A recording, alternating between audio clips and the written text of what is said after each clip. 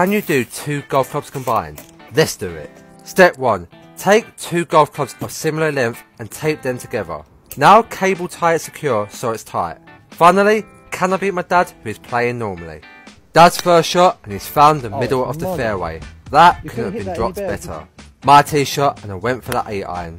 We stuck oh. together an 8 iron and a 9 iron, so I don't have much choice. My second shot and I pured it. Oh. I'm not gonna lie, this hurts through impact. The club face keeps hitting my forearm. Dad's second shot and he's held the finish. This must be good. And he's just found the greenside bunker. I went for the famous 9 iron bump and run, but more like thin and run. Not a great shot. Mad Mike's third shot and well out. This is for par and to put the pressure on. And I left it short, and that's a tap in for bogey. Can Dad win the match? Oh, come on. Ooh, that was close. Guys, what's next?